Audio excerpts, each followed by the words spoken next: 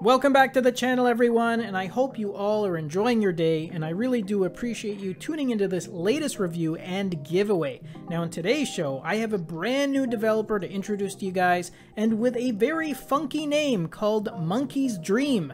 But trust me, there is no monkeying around with these designs because he has some really great watch faces in his collection, and I wanted to share just one of them with you today, which I thought looked really nice. Plus, I will be handing out 20 coupon codes for this face, so make sure you participate participate in the contest by leaving a comment below because I will be randomly selecting the winners from there and then I'll be putting them in contact with the developer so they can grab a code.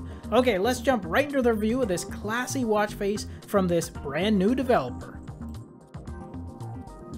Alright guys, this one is really a stunning piece, especially if you're someone that appreciates the look of more classic and traditional styled watch faces, because this one definitely has an air of elegance to it, and you get some nice theme variations on it, which allows you to personalize it to complement what you're wearing, for example, or if you just want to add a splash of color. Now as you can see, this one is a hybrid watch face, as you have the digital time there on the right hand side, and that can be set in either a 12 or 24 hour format. And this one comes with a ton of useful activity information with your distance moved above the digital time, your water intake and date below the time, and then on the left hand side you have your step count, your floors climbed, your calories burnt, you have a speedometer, plus you have three dials for your heart rate, your power remaining, as well as the month. And as I said earlier, you get some theme variations on this one, which can be changed by tapping in the center of the face to change the colors for your activity icons. Tapping in the 12 position changes the font colors of the digits around the bezel,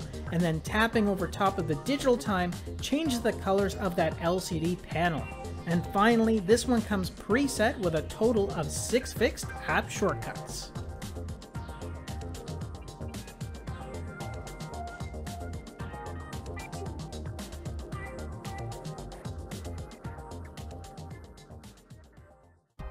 And if you want more information on the watch face that I reviewed today, then simply do a search in the Galaxy App Store under the name of this face. The full details, including the direct link, is included right in the video description. And I'm also going to be giving away free coupons to random and lucky viewers that comment below.